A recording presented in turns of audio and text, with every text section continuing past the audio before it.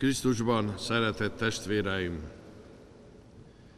Szent Ignác vezette be a lelki gyakorlatokat az újkor egyház történetébe, exercitium spirituale mondta, vagyis a hadgyakorlathoz hasonlóan gondolta el, hogy amint a katonának, hogyha háborúba száll, előtte jó, ha gyakorlatozik, hogy ne érje őt készületlenül az ütközet, a háború. És valahol ehhez hasonlítva mondta el, hogy mi mindannyian az Úr vitézei kell, hogy legyünk, és föl van állítva két zászló, az Isten és az ördögé, és nyilvánvaló, hogy nekünk az Isten zászlaja alá kell állnunk, és az egész életünk végül is egy küzdelem azért, hogy az Isten törvényei szerint élhessünk, illetve Jézus Krisztus evangéliumának megvalósítói és továbbadói legyünk. De ahhoz, hogy az ember ezt a küzdelmet meg tudja vívni, magának is gyakorlatoznia kell, méghozzá lélekben. Egyébként az egész antik világ, de talán a mai kor pszichológiája, mély pszichológiája is egyik fő kérdésként veti fel azt, hogy vajon az ember ismeri önmagát, és az ő lelki képességeit jól tudja-e felhasználni. Híres mondása volt a görög világnak, szálló igévé vált görögül, talán még sokan tudják is, gnoti se auton, ismerd meg magadat. Ahhoz, hogy te igazi ember lehess, ismerd meg magadat. De a későbbi kultúra, amely már dekadensé vált, a római, az már azt mondta, de internis non judicat praetor, a belsőről nem tud ítélni a bíró. Mert ők fölfejlesztették, kifejlesztették a jogi rendszert, a bírósági tárgyalásokon, rájöttek arra, hogy a belső dolgokról a bíróság nem tud ítékezni. Nem csak azért, mert nem ismer minden körülményt, hanem olykor az ember sem ismeri önmagát, hiszen meg kell hallgatni egy bírósági tárgyalást, hogy mindenki a maga igazát akarja bebizonyítani. Egy idős ügyvéddel beszélgettem egyszer, kérdeztem tőle, hogy mi az életének a nagy tapasztalata. Az a tapasztalatom, hogy az embereknek talán egy százaléka az, aki, ha peres ügyre kerül a sor, elismeri azt, hogy sajnos én is védkeztem, én is hibás voltam. A többi az mindig így a maga igazát akarja gyakorolni. A mostani evangéliumi szakasz azzal záródik, miután Jézus kiverte a kufárokat a templomból, és ott sokan örültek neki. Na, jó van, a pénzváltókat is fölforgatta. Kicsit olyan volt ez, mint mikor mondjuk a bankárok veszteségén örül egy egyszerű ember. Jó van, most ti is fizetni fogtok. Ők is így voltak vele. Jó van, kiverte a kufárokat, pénzváltókat, és ott éjjenezték Jézust. És mit mond János evangélista? Nem bízott bennük, mert tudta, hogy mi lakik az emberben. Jézus Krisztus ismerte az ember belső világát, nem csak úgy, mint a második isteni személy, hanem emberi tapasztalatokra is szertert. Az idő múlásával hallottam egy lelki gyakorlaton, a csalódások száma nő az ember életébe. És ezt maga, ami Jézus Urunk is elmondhatta, hiszen épp virágvasárnap volt az, amikor ottan hozsannáztak, eltelt néhány nap, és elkezdtek feszíts meget kiáltani. Ilyen az ember. Ő tudta azt, hogy a pillanatnak, az érzelemnek, a tömegpszichológiának ki van szolgáltatva. Milyen is az ember?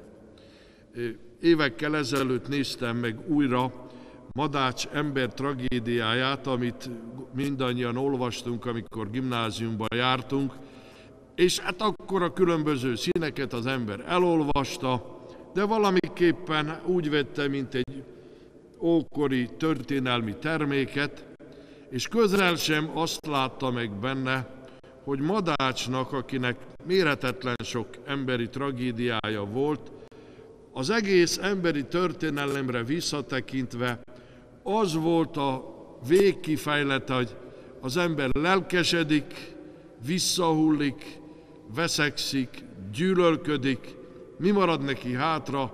Az, amit Isten mond a végén, hogy ember küldj és bízva bízzál.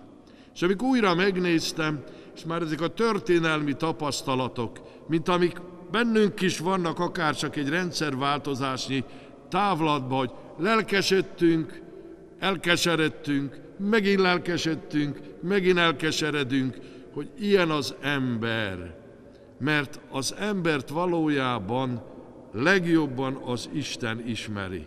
Jobban ismeri, mint ahogy mi ismerjük önmagunkat. De hát egy lelki gyakorlat, egy ilyen párnapos is, éppen arra való, hogy az ember megismerje önmagát, a megismert, jobban megismert lelki ismeretét aztán nevelje, esetleg bűnbánatra induljon, vagy pedig elhatározásokat tegyem. Mert az a Jézusi mondat, amit minden nagybőjtben újra meg újra idézünk, hogy térjetek meg, higgyetek az üdvösség jó hírében, az éppen arra vonatkozik a metanoiára, hogy egy ember megáll, elgondolkodik, hát bizony ezt nem jól tettem, és, és próbál másként útirányt szabni az életének. Éppen majd régi, 40 évvel ezelőtt ismert családhoz mentem be, Tápió Szecsőn, és ott mondja a, az a régi ismerős, hogy férjemnek nem tudom hány évtized kellett hozzá, hogy rájöjjön arra, hogy neki a szeszes ital, főként ha sokat iszik, nem válik hasznára. És most jutott el oda, 50 valamennyi évesen, vagy 60 évesen, hogy inkább nem iszik, mint hogy utána beteg legyen. Tehát az embernek annyi tapasztalatra van szüksége ahhoz, hogy valamicskét is tudjon javítani az önmaga életén. Isten egyedüli módon ismeri az embert. Ő teremtett bennünket.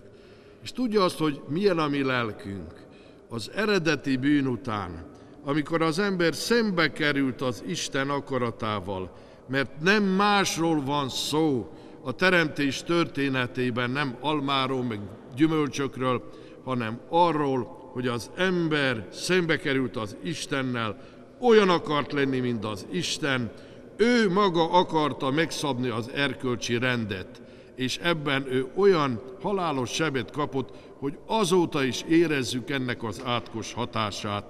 De ugyancsak bennünk van az, hogy olyanok akarunk lenni, mint az Isten, hát gondoljunk a mai technikai lehetőségekre, hogy mindent meg akarnak tenni az emberek, ami megtehető, szinte ki akarják sajátítani a teremtést, nem törődve morális értékekkel.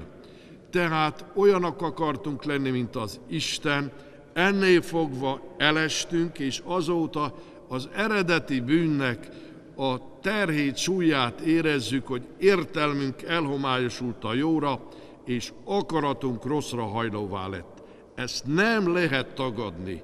Tehát ha van egy csöpp ember ismeretünk, rájövünk arra, hogy sokkal nehezebb a jót követni, mint ösztöneinknek engedni, az értelem irányította útmutatást követni, mert elhomályosul az embernek a jó irányában az érzéke és az akarata.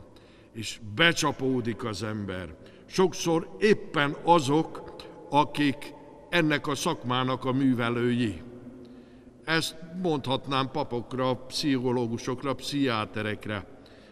Száz éve, hogy meghalt, hogy jövőre lesz talán száz éve, Csád Géza Kosztolányi unoka öccse volt, pszichiáter volt már abban az időben, kiváló esztéta, nagy-nagy, sok talentummal, felruházott ember. És írt egy könyvet a helyes önismeretről. És nem sokára rá a feleségét is megölte, és maga ellen is fordította a pisztolyát. Tehát annyira nem ismerte önmagát, pedig erről írt könyvet, a helyes önismeretről. Akkor már a kábítószernek a rabja volt. Tehát megtörténik az, hogy valaki ezzel foglalkozik, ezt úgy gondolja, hogy ki is művelte, ő ennek szaktudósa, és mégis elesik benne. Mert nem ismerjük önmagunkat, egyedül Isten az, aki bennünket jól ismer, még a feneketlen mélységét is a lelkünknek. Már a Zsoltáros is mondta, hogy az ember lelke feneketlen mélység.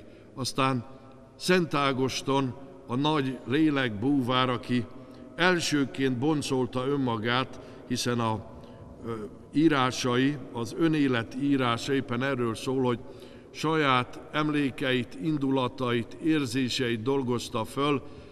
Ő volt az, aki idáig eljutott, hogy hát igen, én is hányszor akartam megváltozni, és nem tudtam. Az ember ér, lelke egy feneketlen mélység, ő maga is megerősítette ezt. De mit lehet tenni? Nem hagyhatjuk annyiban, hogy jó van, hát mi ilyenek vagyunk. Mert éppen ami Urunk Jézus Krisztus biztat bennünket, hogy térjetek meg, sigyetek az üdvösség jó írében. Ő ismer bennünket, és az ismeretét valamiképpen átadja nekünk. Átadja, amikor példát mutat. Emberségében hasonló volt hozzánk mindenben, a bűnt kivéve. Nem követte el, de kísértés szenvedett. És éppen a pusztai 40 nap volt az, amikor kísértés szenvedett. A szemek kívánsága, test kívánsága, élet kevésége, tehát az emberi életnek mindazon területei, amelyek az embert úgy egész történelme folyamán tudják rossz útra terelni, azt ő maga is átélte a kísértőtől, és fontosnak tartotta elmondani az apostoloknak, hiszen annak tanúja nem volt, ő elvonult a pusztaságba, tanúja nem volt, de miért mondta el a mi okulásunkra? Hogy ebben a küzdelemben ő mindig belekapaszkodott az Isten igéjébe, mert amikor a gonosz lélek megszólítja, nagy csalafinta módon idézi neki a Szentírást, írva van, és azt mondja, de az is írva van. És az Isten szavával, hogy így mondjam, megveri a gonosz lelket. De miért vonul el? Elvonul, és többször is elvonul, olvassuk a Szentírásba, és az egész éjszakát Isten imádásában töltötte, elvonult a csendbe. Ez az első olyan lépés, ahol az ember megismerheti magát. Olyan világban élünk, amikor nem tudunk csendben lenni. Figyeljük meg, magamra is vonatkoztatottan mondom, főkelünk, bekapcsoljuk a rádiót, tehát mindig valami zörög körülöttünk. Már az jó dolog, hogyha az ember szelektál, hogy olyasmit hallgat meg, ami fontos számára, de éppen látom ott a munkásainknál nagy építkezés van már évek óta, szüntelen megy nekik valami kereskedelmi adó. És mondom, hallgatják? Nem hallgatjuk. De zörög, és elfelejtünk mindent. Az ember a nagy zajban nem tud magára figyelni. Nem lehet, ha örökké zajban élünk, önmagunkra odafigyelni. Na most az első lépés az volna, hogy hát próbáljunk egy kis csendet is teremteni magunk körül, Isten jelenlétébe helyezni magunkat. Itt kezdődne a megismerés. És ezért nagyon ajánlotta éppen Loyolai Szent Ignác a rendtagoknak, de ajánlja nekünk is, hogy próbáljunk lelkiismeret vizsgálatot tartani, hogy gondoljunk vissza a napunkra, mit tettünk jól, mit tettünk rosszul a csendbe, az Isten jelenlétébe próbáljunk lenni, itt volna az első lépése a lelkiismeret vizsgálatunknak, és utána, hogy ne csak úgy olyan nirvánába ülve bámuljunk a nagy semmibe, szempontokat ad nekünk. Ad már a Szentírás is. Adja a most felolvasott tíz parancsolatot. Hallhattuk az olvasmányból. Az ember gondolja hogy én hogyan állok a tíz parancsolattal. Szóval a Jézusi tanítás, ott van a hegyi beszéd, amely eszményekre irányítja az embernek az életét, hogy mit kellene tennie. Legyetek tökéletesek, mint a ti mennyei atyátok.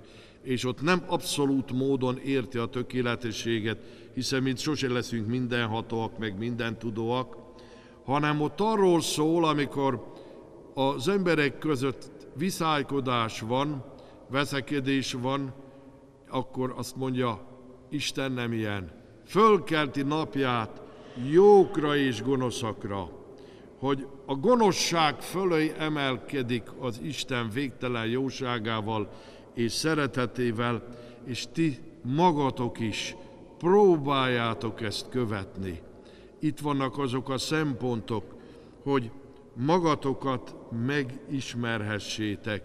Tehát egyrészt ott van egy tíz parancsolatrendszer, ott van egy eszményt adó hegyi beszéd, és aztán ott van a Szentírásnak sok olyan tanítása, ami éppen az apostoli levelekből tűnik ki.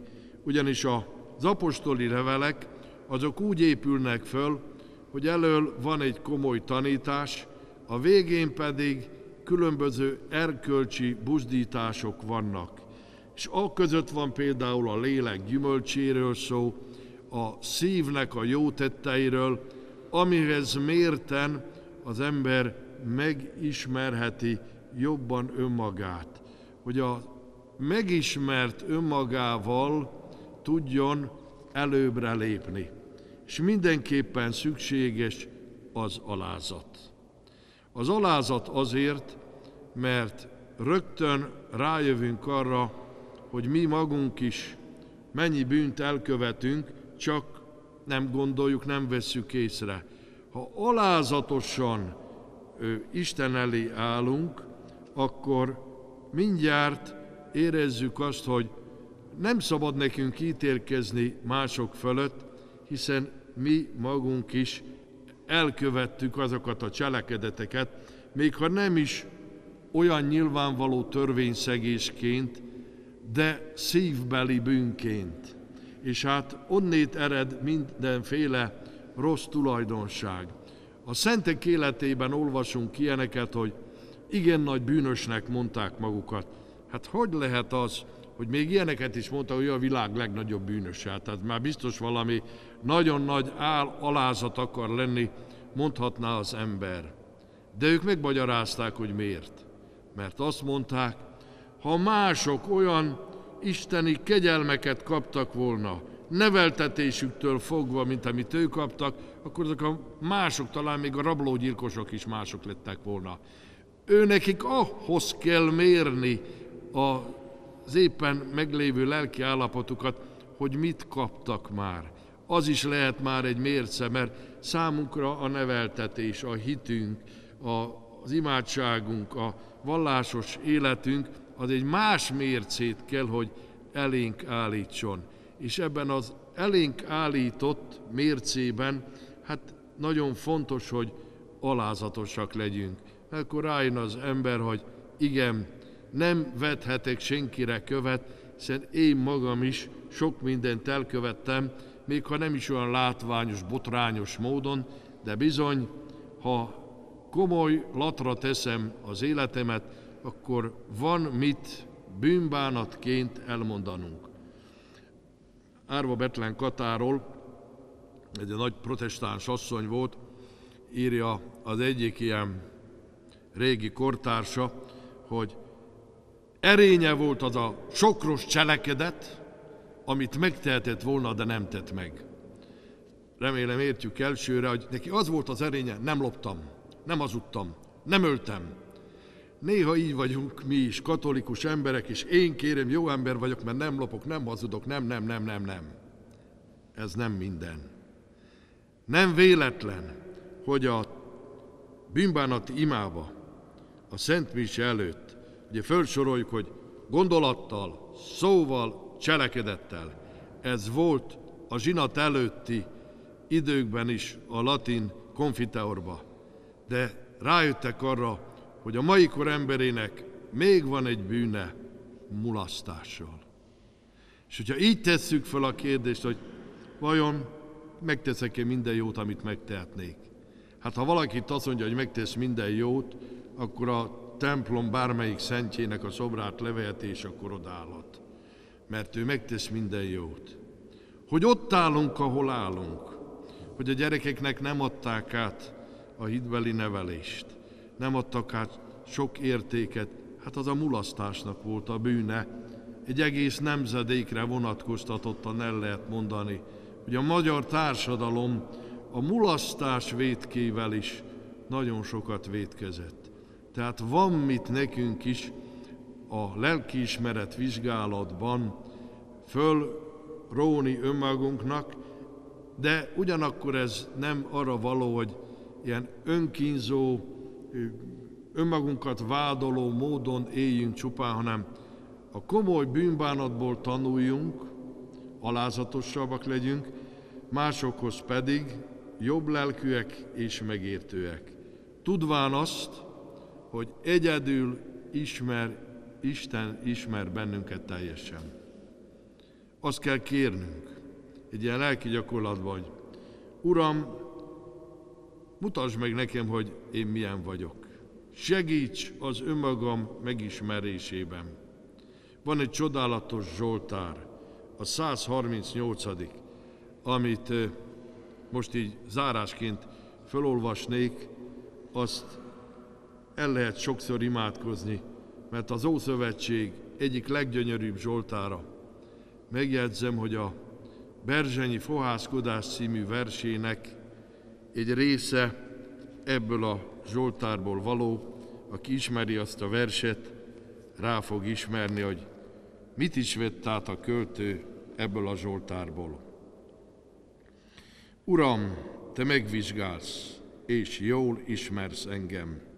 Tudod, ha leülök, vagy ha fölkelek, messziről ismered gondolataimat, szemmel tartod jártomat, keltemet, jól látod minden utamat hiszen szavam még el sem éri nyelvemet, íme te már jól ismered, Uram.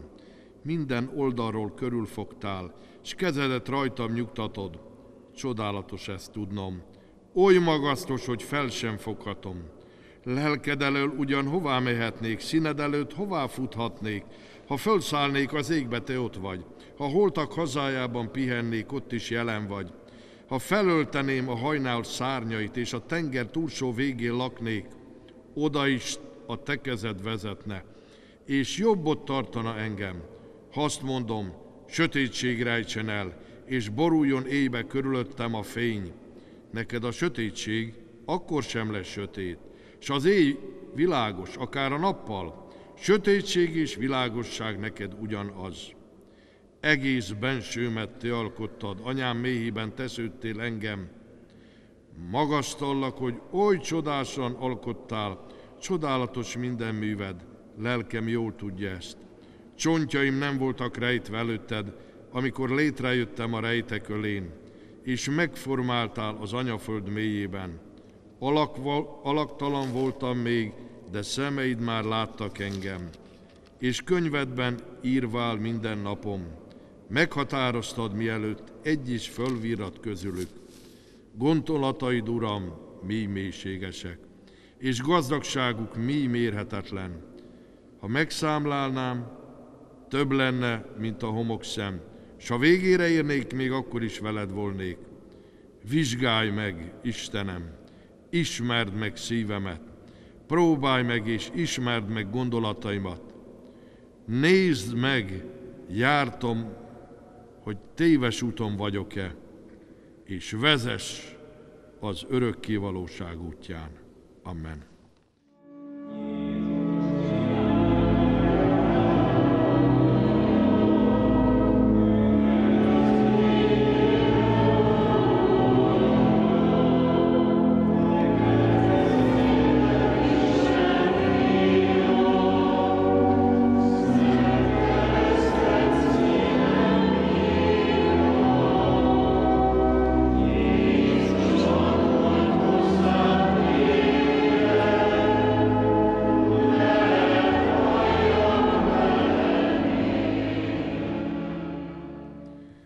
Tegnap este az evangélium utolsó mondatához fűztem az elmékedést, amikor Jézust dicsérik, mert kiűzte a templomból a kufárokat, akkor Jézus nem sokra veszi ezt a dicséretet, tudja azt, hogy az ember lelkileg érzelmeiben könnyen átáll, nem bízott bennük, mert ő tudta, hogy mi lakik az emberben.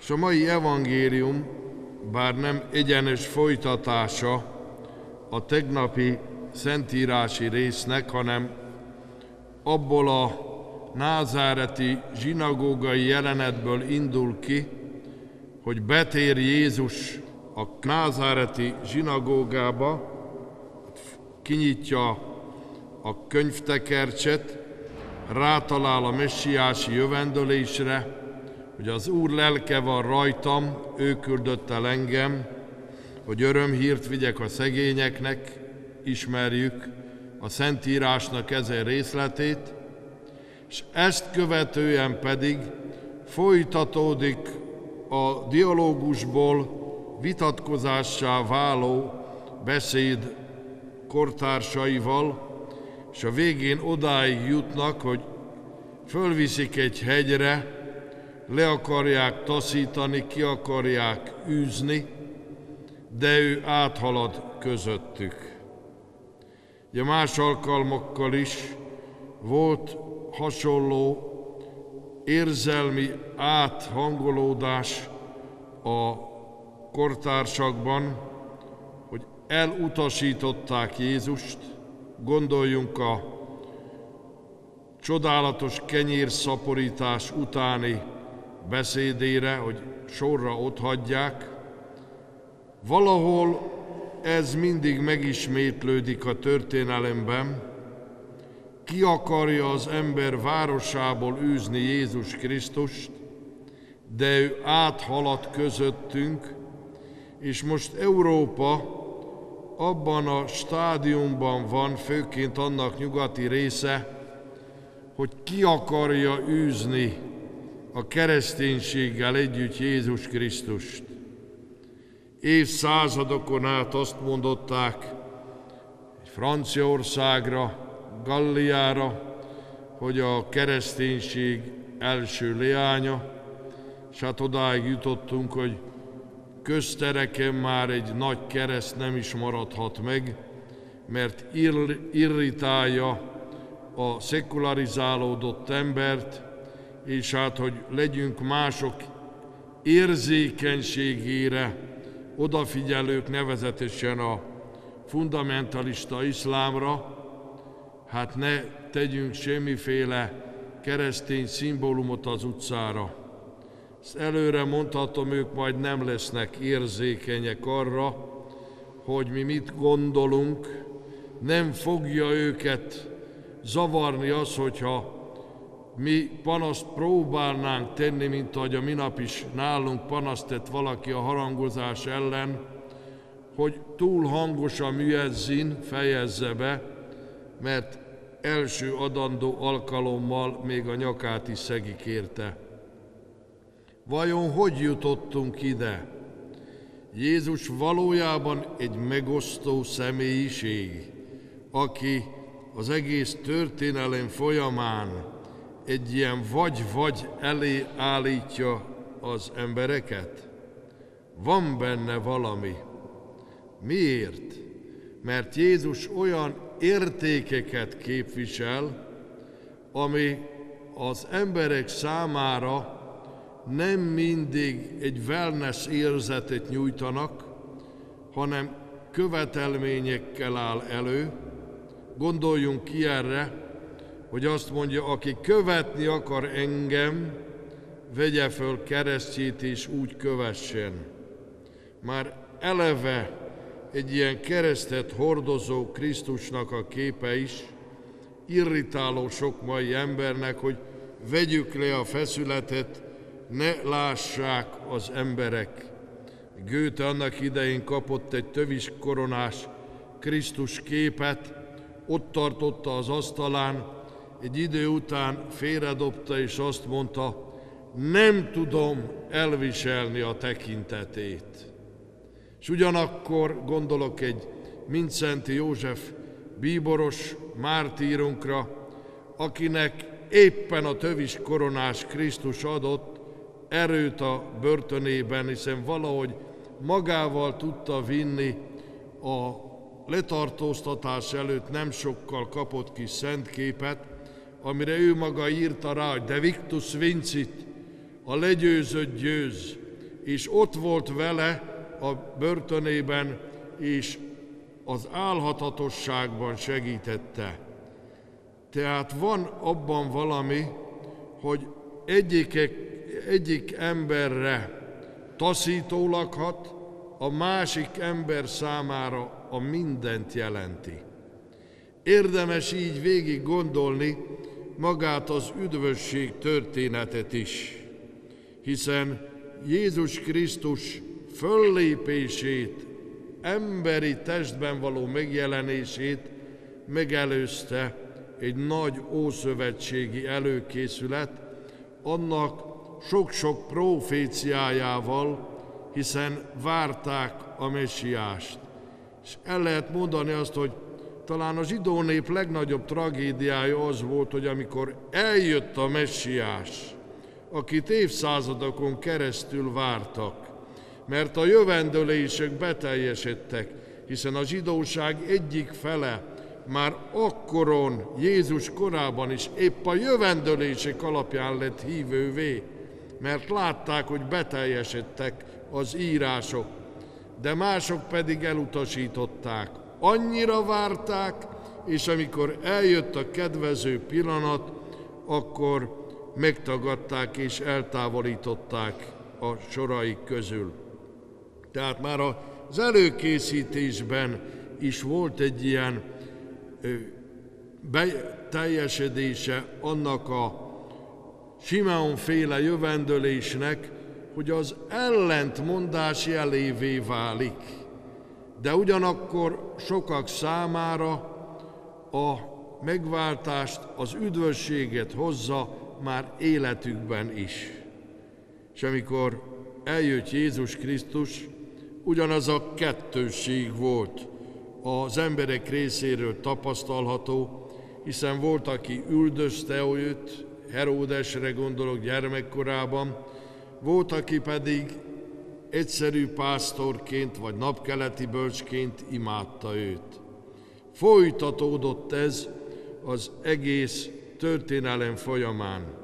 És ahol nézzük és olvassuk az evangéliumokat, amelyek nem azonnal íródtak le, hanem évtizedek múltán, legkevesebb 20-30 évvel Jézus Krisztus mennybe menetele után, de Jánosé még később vagy 50 is eltelt, ott is lehet látni, hogy a megközelítések különbözőek.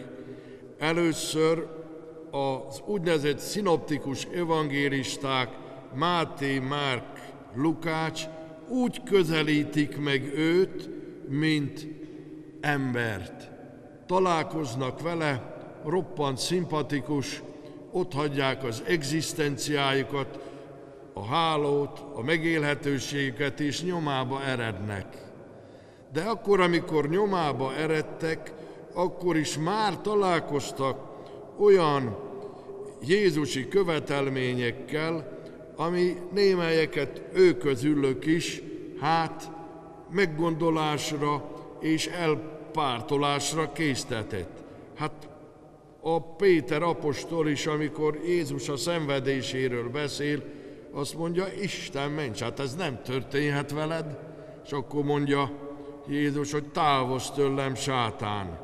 Abban a pillanatban szinte ördögi módon nyilatkozott Péter apostol. És hát nem beszélve Júdásról, aki meg is tagadja őt. Vagy ott voltak az apostolok, akik mindent láttak, de a húsvét utáni események között is még ezt olvassuk Lukács evangéliumában, hogy mikor közébük ment a föltámadt Krisztus a zárt ajtókon keresztül, akkor szemükre veti a hitetlenségüket, hogy még ezután se hittek. Akár csak egy Tamás apostol, aki nem volt közöttük. János evangélista, aki hűségesen ott áll a kereszt tövében, ő már úgy gondolt vissza, mint az Isten második személyére, a Logoszra, aki belépett ebbe a világba, és emberi természetet öltött, egy lett közülünk, de ugyanakkor már ő is megjegyzi a bevezető prológusában az evangéliumnak, ugye így hívjuk, János evangéliumának minden karácsonykor fölolvasott szakaszát, hogy a világosság a világba jött, de a sötétség nem fogadta be. Mert a sötétségen itt a bűnvilágát érti. Mert az emberek jobban szerették a bűnös életet és a sötétséget, ám aki befogadta, annak hatalmat adott arra, hogy Isten fiává legyen. Ő, aki végig hűséges volt, letisztult gondolkodással és elmékedéssel, visszatekint erre, hogy ez kezdettől így volt. És egy nagy küzdelem lesz majd az egész üdvösség története során.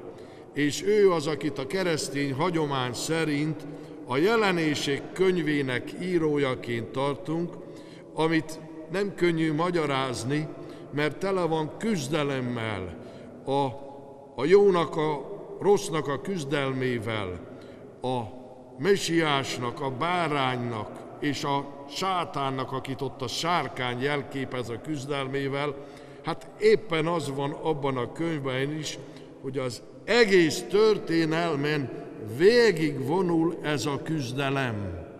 És tegnap éppen idéztem a lelki gyakorlatok, az újkori lelki gyakorlatoknak a megalapítóját, Loyolai Szent Ignácot, hogy ő éppen ebből indult ki, ebből a képből egy megtért katonatisztként, hogy küzdelem van a világban, de van két zászló, az Istené, az Úr Jézus Krisztusé, és ott van a sátáné.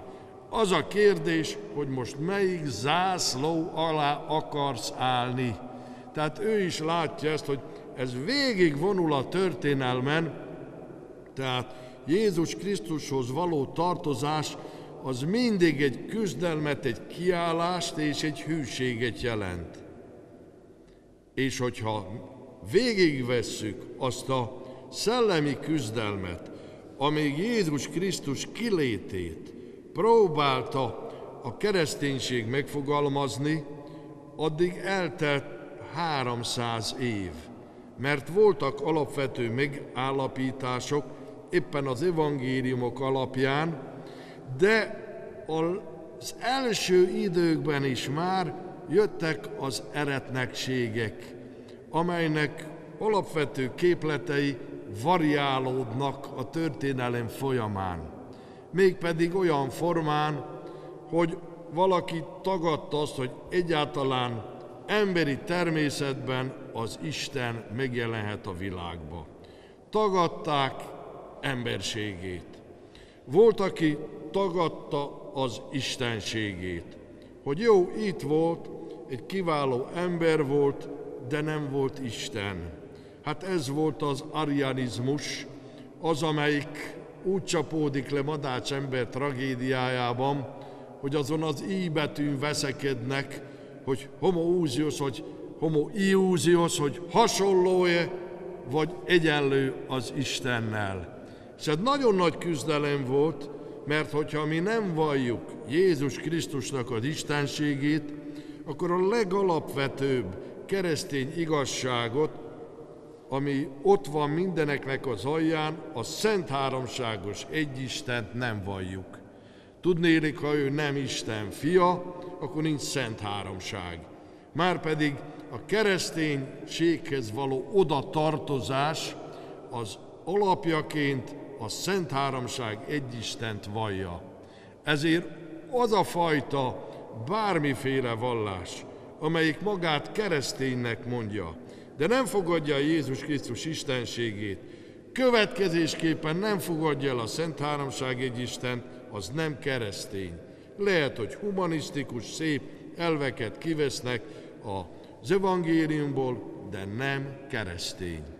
Aztán az eretnekségeknek azon fajtái, amelyek nem tudtak mit kezdeni, hogy most ő egy félisten, vagy egyszer Isten volt, egyszer ember volt, vagy ember volt, azt egyszer csak megszállt őt az Isten lelke és isteni tulajdonságokkal rendelkezett, ezt is tisztázni kellett, hogy hogy van ő benne ez, mert ez nem könnyű, sőt, mondhatni azt, hogy titok marad az emberi értelem számára a teljes mélységében, de azok a zsinatok, legyen az a niceai, a kalkedoni zsinat, ahol például a nagy hiszek együnket megfogalmazták, ugye itt az apostolit imádkozzuk, de a nagy hiszek egyet is ismerjük, hogy világosság a világosságtól, valóságos Isten a valóságos Istentől, és így tovább.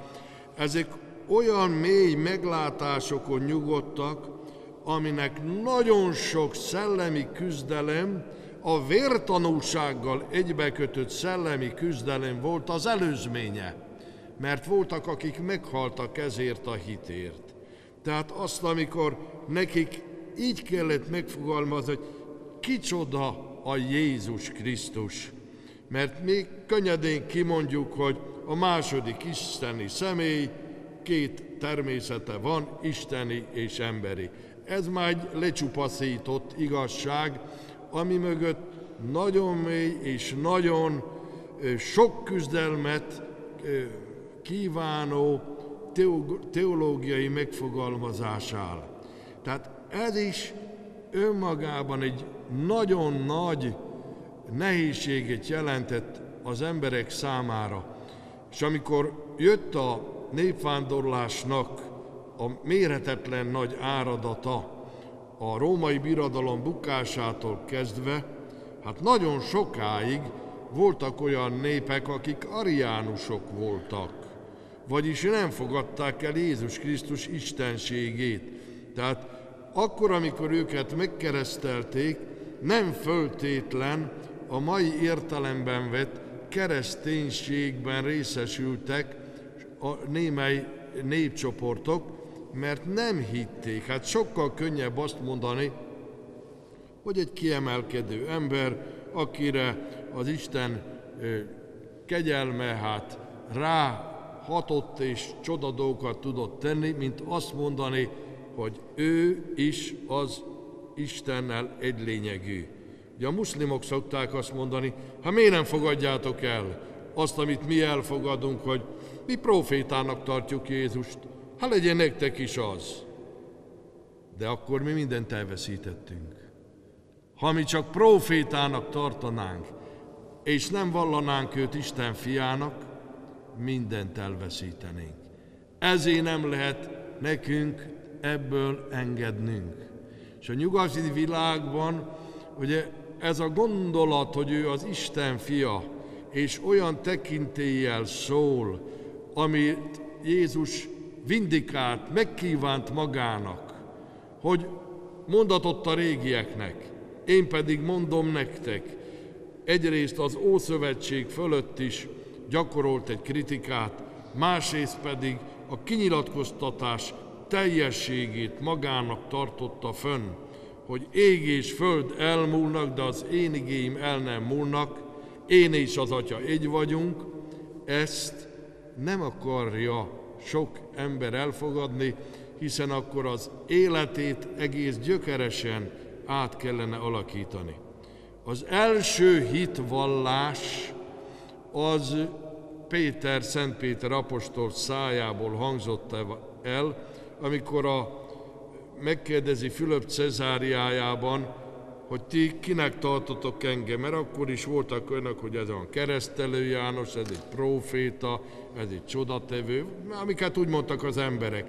Jézus nagyon jó tudta, hogy mit tartanak az emberek, hát már csak azért is, mert ő is hallotta az akkori emberi szóbeszédeket, de hát vallanunk ezt azt, hogy Isten fiaként, és úgy is tudott mindent, mint Isten fia, de ő hitvallásra akarta kényszeríteni őket, mert a szóban kimondott hitvallás az többet jelent, mint hogyha csak úgy gondolatban mondom, hát igen, elhiszem, úgy van, úgy lehet, de ha egyszer meg is kell vallani, hogy kicsoda ő, akkor ez már lelki és szellemi erőfeszítést is kíván tőlünk.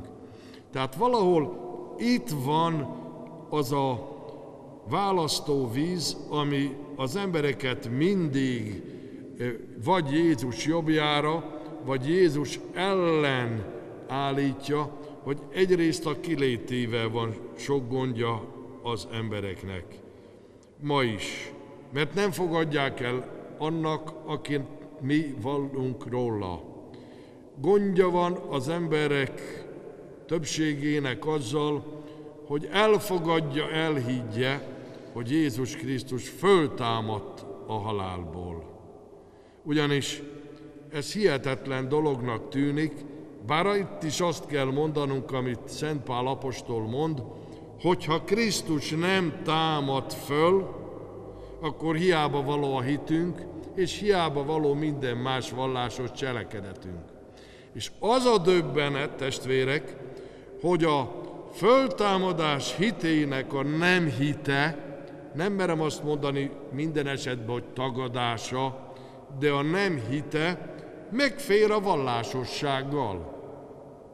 Olyanokéval, akik vasárnaponként elmennek a templomba, ott vannak, de valójában szívük mélyén nem hiszik a föltámadást.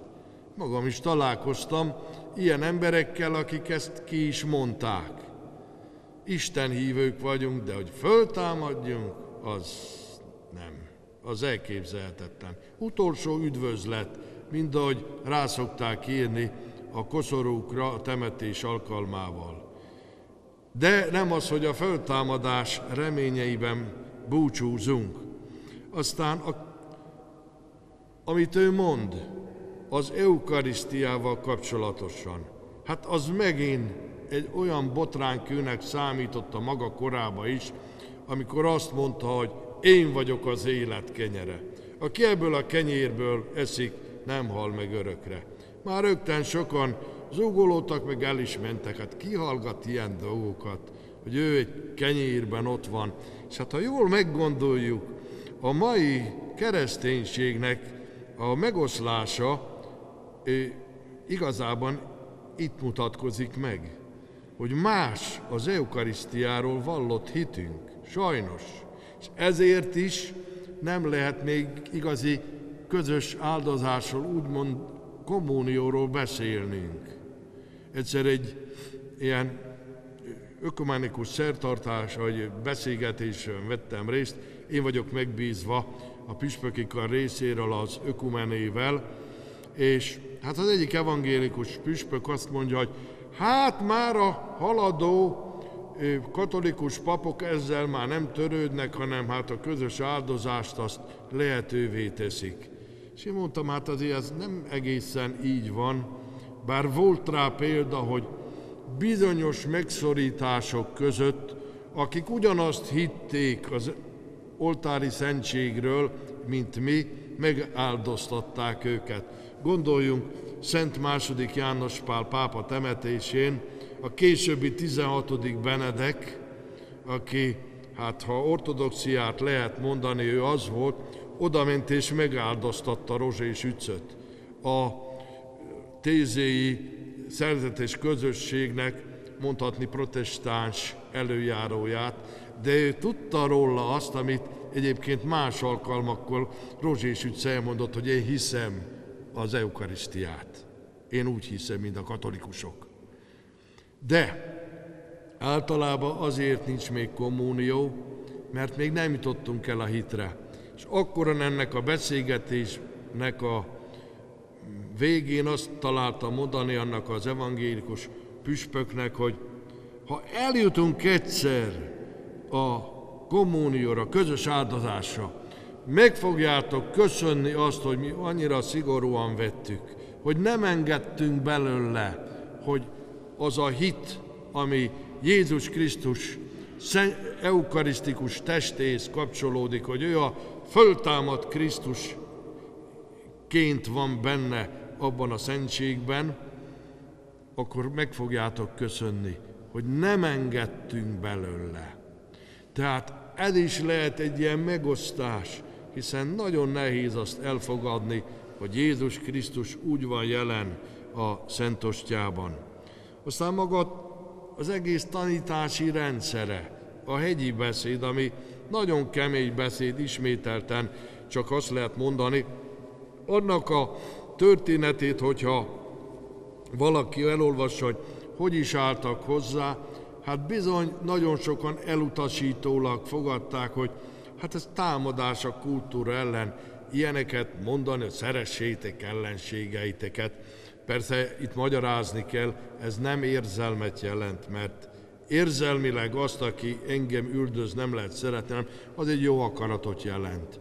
Hogyha rászorul az ellenségem, jót akarok neki, és kérem számára az Istentől a bocsánatot. De hát akkor is, ha valaki velem rosszat tett, azt nem kell jó akaratban részesíteni, mondja a mai ember. Tehát erről, ebből adódóan maga a hegyi beszéd, a tanítása is olyan, hogy elutasítják nagyon sokan, ez megvalósíthatatlan és irreális, és hagyjuk az egészet.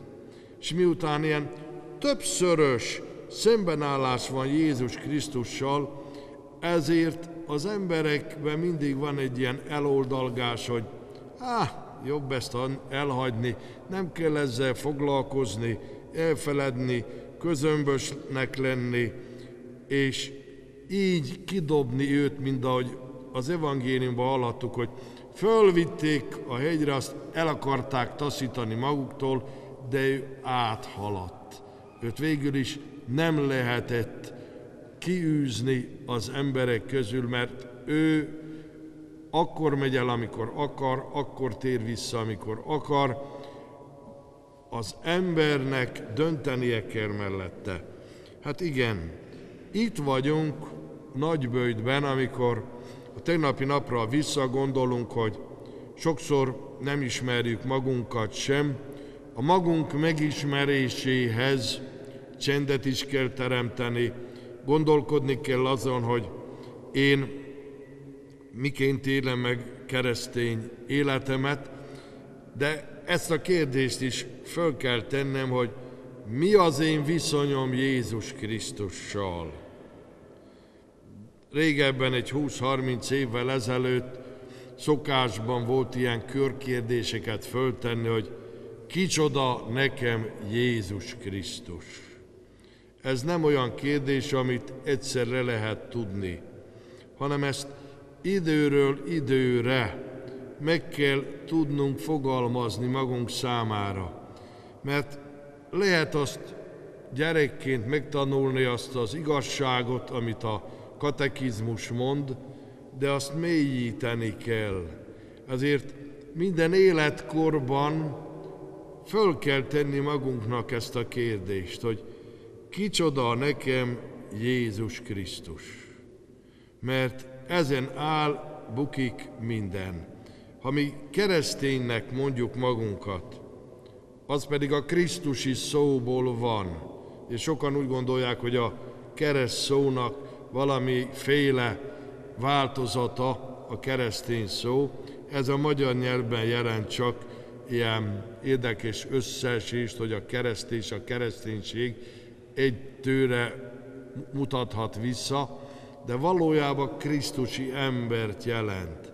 Hát ha mi Krisztusi embernek, kereszténynek mondjuk magunkat, akkor érdemes ezt föltenni, ezt a kérdést, hogy mi valóban keresztények vagyunk, vagy megtörténik az, ami olyan dolgok, olyan neveknél, hogy valaki valamely foglalkozásnak a nevét hordja családi nevébe, vagy Kovács, Szabó, Molnár, stb. De ő már rég nem az, hát ma se tudja, hogy mit csinál az a mester, aki Szabó volt, vagy Kovács volt, vagy bármi más, ami foglalkozás név, az ősei voltak azok, de ő már rég nem az. Valahol itt van Európa is, hogy őseiben kereszténynek mondta magát, és ő is, hogyha még szint kell, vagy vallani kell egy adminisztrációs összeírás, tehát nem mondja magára, hogy hindu vagyok, vagy buddhista vagyok, hát akkor odaírja, hogy keresztény kultúrába vagyok, ugye, mint amire annyiszor szoktunk hivatkozni, de fel lehet tenni a kérdést, hogy hát ha mi kereszténynek mondjuk magunkat, és keresztény kultúrába élünk, akkor valójában hogyan is állunk Jézus Krisztussal? Mert itt nem egy néphagyományról van szó, meg valami szokásról, az ma már nagyon kevés. Öntudatosan kell megvallani, és valahol itt van az igazi oka annak a nagy hátat fordításnak, szekularizációnak, vagy hitmegtagadásnak, hogy nincs meg az öntudatosság. Nem merik megmondani nagyon sokan, hogy kicsoda számukra Jézus Krisztus. És egyfajta gyávasággal, szégyenérzettel inkább nem beszélnek róla. Ezt látjuk így a családok életébe, látjuk a közéletben is. Egy olyan lelkipásztorral beszélgettem, aki nagyon sok jegyet szokott előkészíteni, és mondja, de én is tapasztaltam ezt, hogy nem tudják az esküvőre jelentkező fiatalok, hogy a szüleik milyen vallásúak. Igaz, azt se tudják, megkérdeztem a gyerekeket, hogy mikor születtek a szüleik. Általában nem tudják melyik évben. De azt se tudják, hogy milyen vallásúak. Úgyhogy ha rákérdez a oktató, lelkipásztor, akkor tessék várni egy pillanatot, fölhívja mobilon az anyját, apját, hogy milyen vallású vagy te. És akkor mondja, hát én ilyen meg ilyen vagyok. Nyilván, hogy ez sose kerül elő a családokba. Hát itt van a mi nagy problémánk, hogy fölnevelődik egy nemzedék, nem ismeri a hitét, nem tudja, hogy apja, anyja egyáltalán hívője, nem látta soha imádkozni, nem éli meg az Isten iránti hódolatát, tiszteletét, és a mai világ így válik kereszténység utáni nemzedékké. De az az isteni kegyelem, hogy mindig van újrakezdés. Az Úr Jézus nem véletlen mondja, hogy térjetek meg, higgyetek az üdvösség jó hírében. És ahogy egy embernek lehetősége van a megtérésre, ugyanúgy látunk az európai történelemben is újra meg újra föl támadt olyan szellemi nagy mozgalmakat, amelyek fölélesztik újra a hitet, fölélesztik a Jézus Krisztus iránti szeretetet, és valami új és új kezdődik. Hát nekünk ez volna a kötelességünk és feladatunk, hogy először magunk szívében tisztázzuk, hogy kicsoda Jézus Krisztus, és jussunk el az őszinte és hitvalló megvallásig, utána pedig erről a hitről tanúságot téve tovább is adjuk. Hogy ne úgy járjon a mai időkben köztünk Jézus, mint egykor a názáretieknél, hogy szeretnénk letaszítani, mert ő áthalad és elmegy, és nem fogja magát erőltetni ránk, de mi maradunk itt nem csak árván, hanem kétségek között, hogy nem tudjuk, hogy egyáltalán minek élünk, minek az emberi életünk, hatalmas technikai civilizációnk van, de nem tudunk magunkkal mit kezdeni. Ez egy büntetés. mert nem Isten hagyott el bennünket, hanem mi hagyjuk el őt. Ezért ez a lelki gyakorlat mai estéje is, vagy ha ma nem, akkor az elkövetkező napokban legyen olyan házi feladattá, hogy szálljak magamra egy kis időt, és gondolkodjak el, és ha megkérdeznek engem, akkor meg tudjam vallani a Jézus Krisztusba vetett őszinte hitemet, de csak akkor tudom megtenni, ha bennem meggyőződés szintjén van, és ha hitemnek volna valami hiányossága, akkor az apostolokkal együtt kérhetem az Urat, hogy erősítsd a mi hitünket. Erre való a nagybőti idő, a nagybőti lelki gyakorlat, ne késlekedjünk, Szent Pál mondja, itt az alkalmas idő. Amen. Música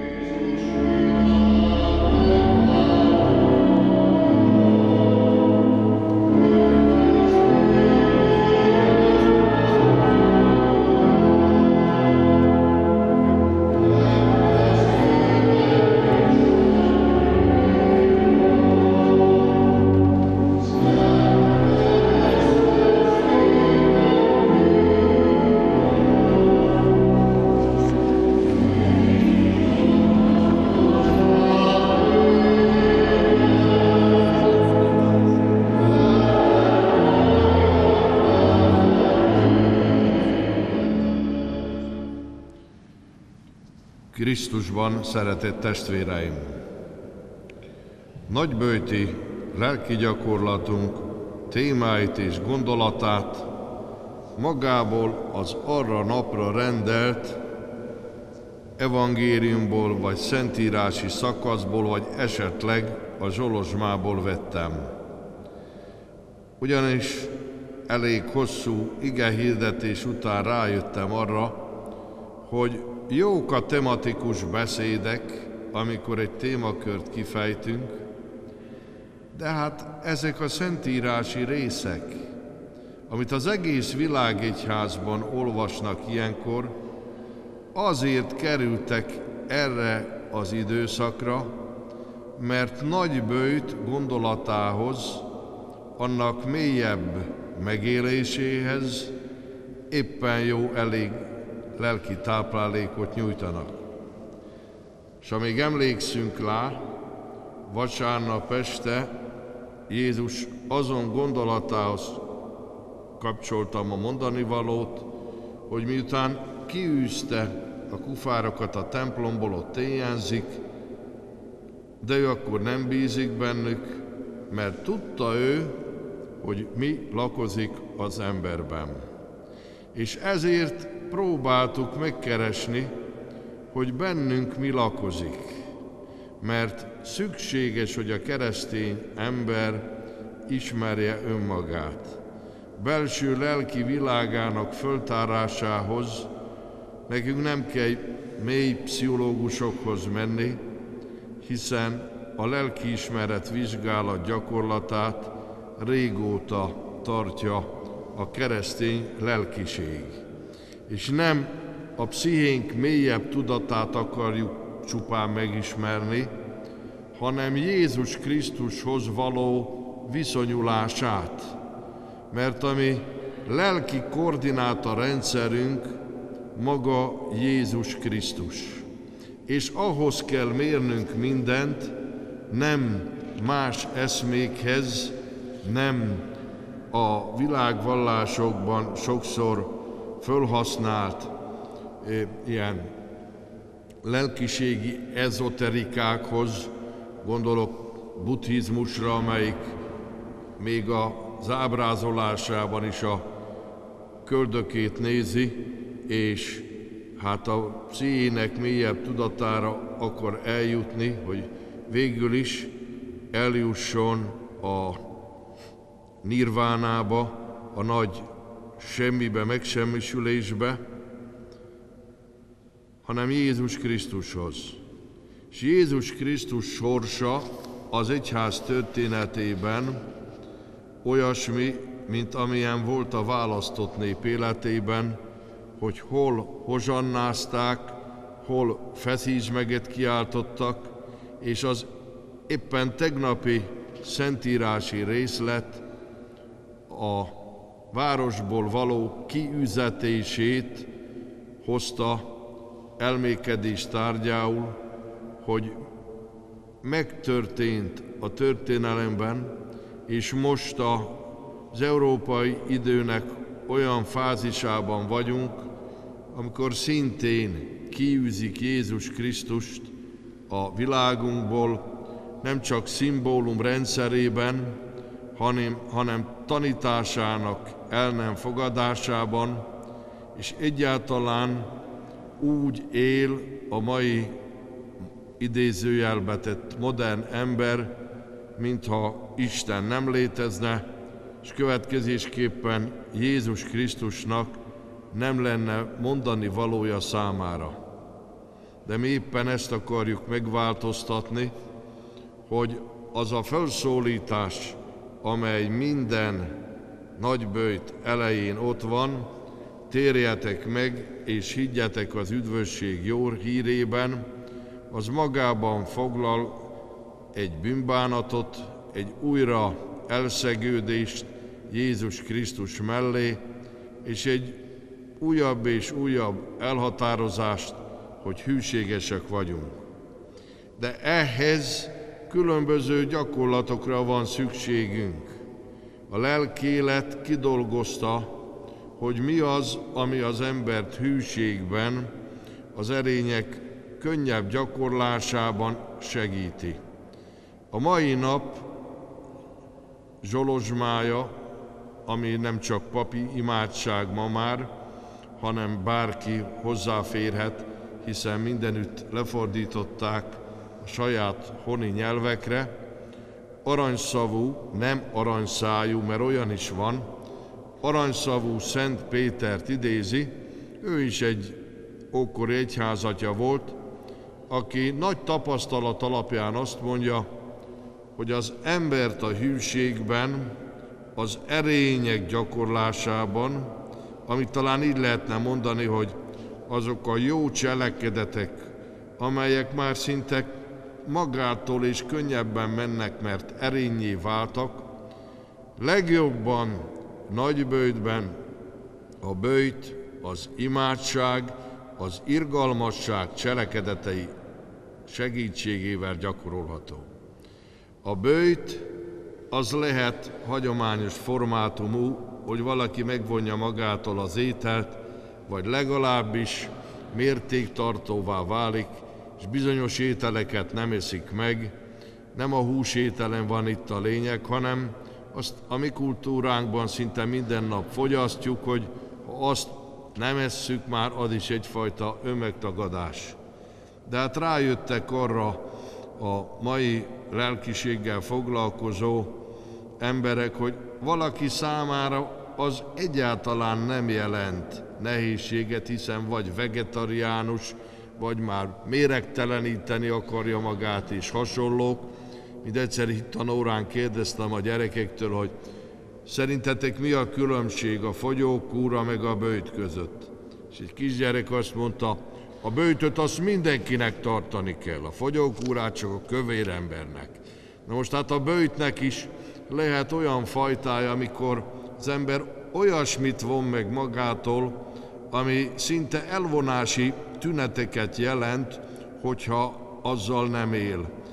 Úgy érzem, hogy főként a fiatalságnál, de már az idősebb nemzedéknél is tapasztalom, hogy olyan fokú a, itt a mobil használat, az okostelefon, a Facebook, hogy szinte nem tud már nélküle létezni.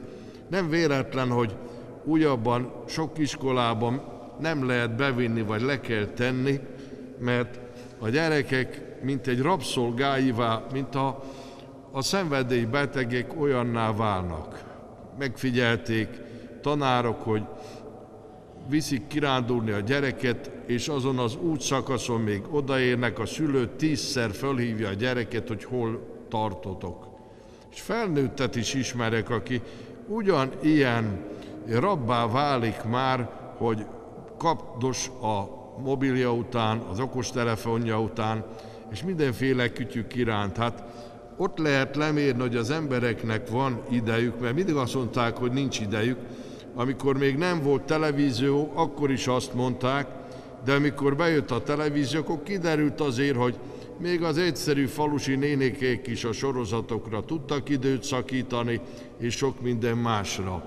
És hogyha azt nézzük, hogy ki mennyit tölt el ilyen eszközök mellett, ami a mai digitális technikához kapcsolódik, hát hatalmas időtöltés a fiatalok életének a része, amit azzal, és nem a munka miatt, mert az megint más, hiszen nagyon sok munkakör hozzá van a számítógéphez kötve, hanem azon túlmenően is. Például ilyen is. Aztán a szavaknak a fegyelme, hiszen olyan világban élünk, amikor minden közönségessé vált. Már a televízió fő csatornáin is olyan közönséges, hogy nem mondjam, alpári beszéddel találkozunk. Ha például valaki ügyel arra, hogy hogyan válaszol, mit mond, vagy inkább nem szól, hogy tűnjék ki a beszédjéből, hogy nem közönséges ember, ez nagyon nagy fegyelmet kíván. Vagy az, aki autózik, hát csak idefele jövet a püspökkariról, hát annyian agresszivitással, mi egyébben találkozik így az esti csúcsforgalomban az ember, hogy azt mondja, most udvarias leszek, vigyázok, megtartom a közlekedési szabályokat, ez is lehet egy lemondás, egy bőjt, és sokféle formája annak, hogy mit és hogyan teszünk napjainkban. Aztán ott az imádság, ami végül is nem a nagybőthöz kötött feladat kellene, hogy legyen. Hiszen ha az Úr Jézus ilyeneket mond, hogy szüntelen imádkozzatok, akkor ebben az is benne van, hogy a gondolatvilágunkat az imádságos szellem járja át, és legalább alkalmanként fejezzük ki szóban vagy elmékedésben az Istenhez való kapcsolásunkat, kapcsolódásunkat, lelkünket emeljük föl ő hozzá, és az összeszedettségre, hanem is többre, de erre törekedjünk. Vagy annak egyik olyan fajtája az imádságnak, ami még a Szentírás ismeretével is társul, hogy soha nem hagyom el addig, vagy abba a Szentírás olvasását, amíg egy olyan gondolatra nem találok, ami éppen nekem szól. És azon el kell gondolkodnom. Nem kell hosszasan olvasni, hogyha új szövetséget forgatjuk és olvassuk. És mindjárt itt vagyunk a mai nap evangéliumánál, amiről, ugye ha hozzákapcsoljuk aranyszavú Szent Péter tanítását, hogy az irgalom gyakorlása. Az irgalom gyakorlása az nem pusztán az irgalmasság cselekedetének a gyakorlása, mondjuk egy alamizsnálkodás, vagy adok a koldúsnak, a rászorulónak, az már csak egy ilyen kisebb féle tett és cselekedet az irgalomban. Gondoljuk meg, az irgalmas szamaritánus nem azért volt irgalmas, mert az apján segített. Ha ott találta volna az árokparton összeverve, és fölemeli, állatára helyezi, elviszi a fogadóba, ez semmiféle irgalmas cselekedetnek nem lehetett volna mondani, legfőjebb a szülők iránti kötelezettségnek, hanem az irgalmasságot abban az esetben azt jelentette, hogy az ellenségének meg tudott bocsátani, hiszen a szamaritánusok és a zsidók több száz éves harcban álltak egymással. És az az egyik legnagyobb nehézsége a lelki életünknek, hogy oly nehezen tudunk megbocsátani. És itt van mindjárt a mai nap evangéliuma, amikor Péter apostol megkérdezi Jézustól, hogy hát ha védkezik a testvérem, hányszor kell megbocsátani. A zsidók nál volt egy ilyen fölfogás, hogy háromszor, négyszer, hiszen Ámos profétánál lehet ilyet olvasni, hogy Isten megbocsát háromszor, esetleg négyszer, hát akkor önekik is valamiképpen ezt kéne követniük. És hát Péter nagy lelki akar lenni, azt mondja, talán hétszer. És Jézus azt mondja, azt mondja nem hétszer, hanem hetvenszer hétszer, de ez nem számszerűséget jelent, hanem ott, ahol a bocsánat kéréssel találkozunk, ott mindig legyen meg bennünk a megbocsátásra való készség. És egy olyan keleti példázatot mond az Úr Jézus, ami egyszerre mutatja azt az irreálisan nagy tartozás elengedését, a tízezer talentum a szeuzó kincseknél is többet értek, annak elengedését vele szemben a száz dénáros, mondjuk egy havi keresetnek a elengedésével.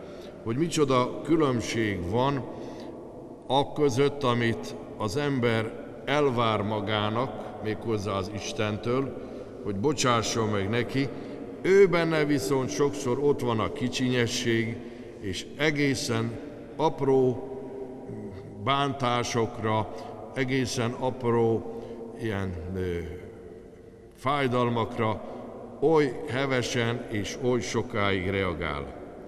Jézus Krisztus más alkalmakkal a mennyei atyára terelte a figyelmet.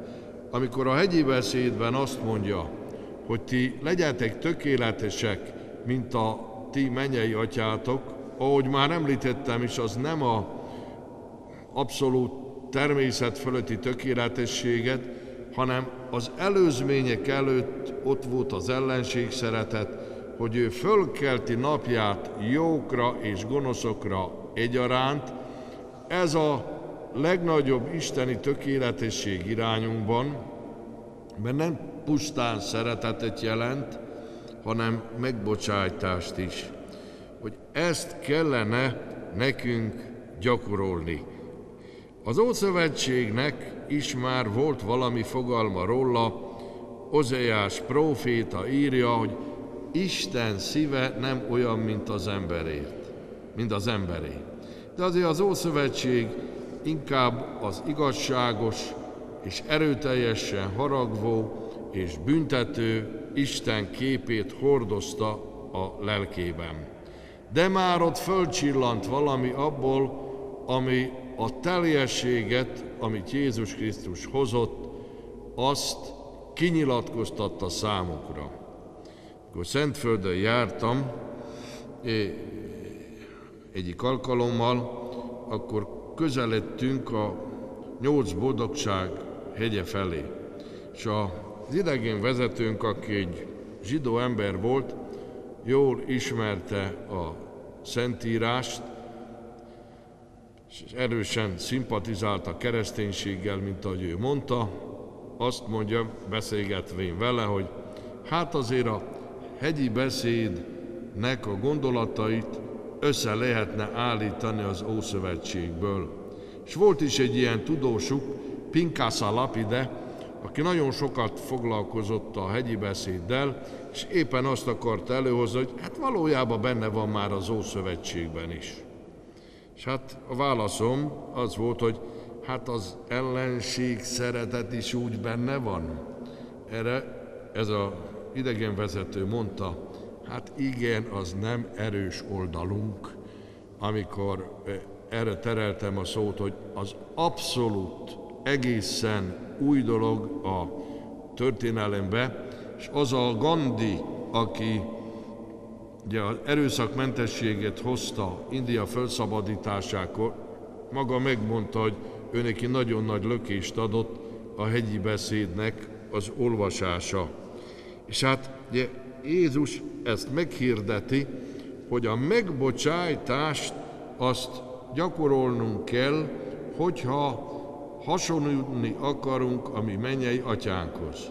És az imádságot összeköti a megbocsátással, mert alig néhány gondolatból áll a mi atyánk, az az imádság, ami Jézustól való, az az imádság, amiből elvenni nem szabad, de hozzátenni se kell külön, mert, mert teljesség, és ebbe a néhány gondolatba Jézus beleszövi azt, hogy bocsásd meg a mi védkeinket, miképpen mi is megbocsájtunk ellenünk védkezőknek. Mert ha nem tudunk megbocsájtani, akkor hogyan várjuk azt, hogy nekünk is megbocsássanak? És ezért ez a 70-ször, 7-szer, ez egy olyas valami, ami egyszerre eszmény, hogy törekedjünk rá, másrészt pedig feladat, hogy mi hasonlítsunk mennyei atyánkhoz, mert ha mi nem tudunk megbocsátani, akkor nem tudunk belekerülni abba a szeretet áramban, amelyben Isten él. És itt sokszor az is már valami, hogyha valaki nem sorolja föl minduntalan a rajta esett sérelmeket. Már azzal is a megbocsájtást akarja gyakorolni. Mert vannak dolgok, amelyek érzelmileg mélyen belénk kivódtak, de legalábbis akarat szintjén, hogy nem soroljuk állandóan föl, már az is jele a megbocsátásunknak. És az is egy nagy tapasztalat, hogy olyan emberek, akik tényleg nagyon sok igazságtalanságot szenvedtek el, és megaláztatásokat, üldöztetést, hosszú évekig tartó börtönt vagy lágert, és a keresztény emberek voltak, úgy jöttek ki, hogy azt mondták, ők nem táplálnak gyűlöletet. Hát egy Mincenti bíboros kijött a börtönből 56 őszén, és azt mondta, senkivel szemben nincs gyűlölet a szívemben. Pedig őt aztán a legkegyetlenebb módon kínozták és megalázták. De ott volt a Oloszfon Placid aki hosszú időt töltött el a gulágon. Hát ő még azt magának és raptársának még azt is mondta, hogy ne panaszkodjunk örökké. Hogy érdekes, hogy ezek az emberek keresztény hittől indítatva meg tudtak bocsátani, el tudták felejteni, és betudták annak, hogy, mint ahogy az Úr Jézus mondta, hogy bocsáss meg nekik, mert nem tudják, hogy mit cselekszenek. Hogy mi nem tudunk megbocsátani, annak több oka van. Először is a neveltetés, a környezet ezt adja minduntalan elénk. Hát ott van egy ilyen gyerekkori olvasmányunk, a Ludas Matyát, annyira természetesnek veszük, hogy ő háromszor veri vissza a rajta esett sérelmet. Nem is gondoljuk azt, hogy benne van az, hogy belénk nevelik azt, hogy nem egyszer, hanem sokszorosan meg kell torolni azt, ami rajtunk sérelemként esett. Vagy egy nagyon erőteljes jogi szemléletünk van, hogy az igazságosság megkívánja. Aztán van bennünk egy olyan önzés is, hogy a magunk szemében a gerendát nem vesszük észre, a másik szemében a szálkát azt, azt igen. Hogy sokkal könnyebb a másiknak a hibáit észrevenni, mint a sajátomét fölfedni. És az is egy nagy lelki tapasztalat, hogy akik ritkán szoktak, vagy évekre, évtizedekre elhagyták a gyónásukat, azoknak nincs bűntudatuk.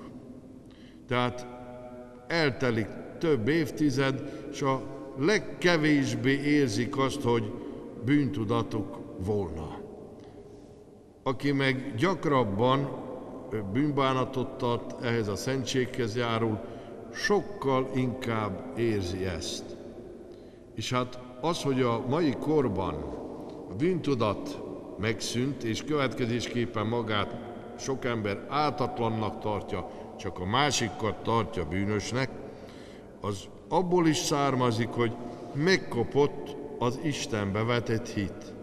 És ha nincs egy olyan fórum, ahol mi feloldozást nyerünk a bűnbánatunk által már csak Isten tud megbocsájtani, de ha nincs ilyen fórum, akkor vagy le kell tagadni, vagy kisebbíteni kell, vagy egy ilyen áltatlansági ködbe kell borítani magunkat, hogy mi nem védkezünk, de a másik az igen.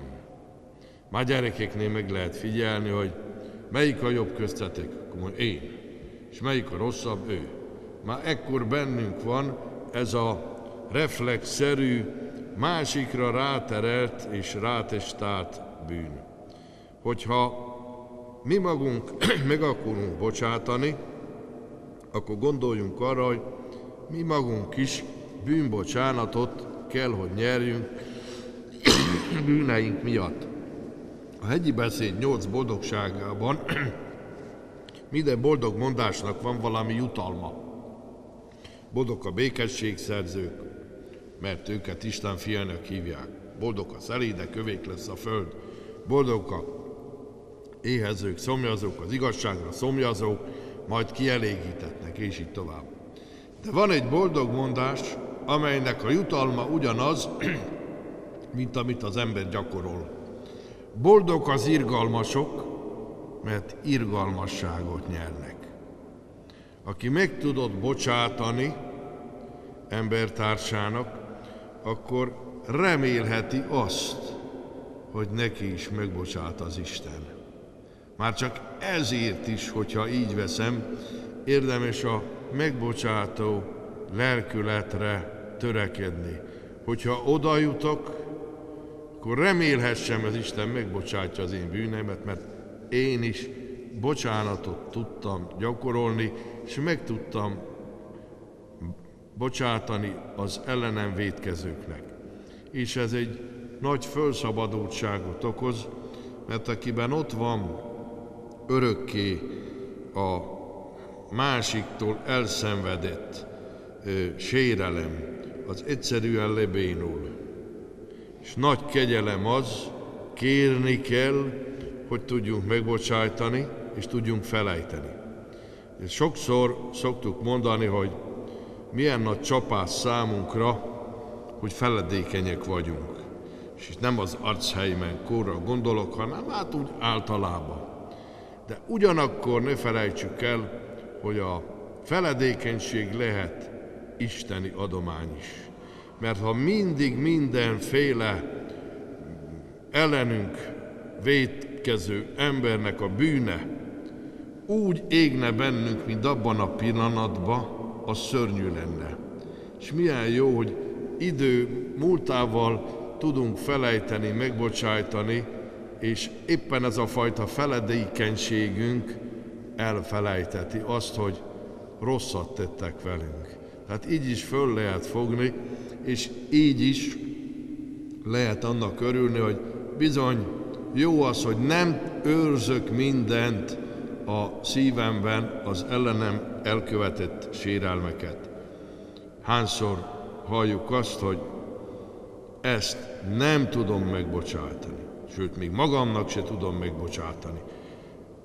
Nem jó, nem helyes útja a keresztény lelkiségnek. Kérjük, hogy tudjunk megbocsátani. És minden nap legalább egyszer bizonyára elimádkozzuk a mi atyánkot, Hát az egy felszólítás. Csak nem gondolunk már rá, mert úgy elmondjuk, ösztönösen, verbálisan. De hogyha úgy imádkozzuk végig, és legyen ez a mai estének, a mai nagybőjtnek egyik feladat, hogy próbáljuk a mi atyánkot úgy imádkozni, hogy oda is gondolunk arra, amit mondunk, akkor biztosan, könnyebben megbocsátunk, mert a mennyei Atya megbocsátását, a mi bűneink megbocsátását így kérhetjük és így remélhetjük. Amen.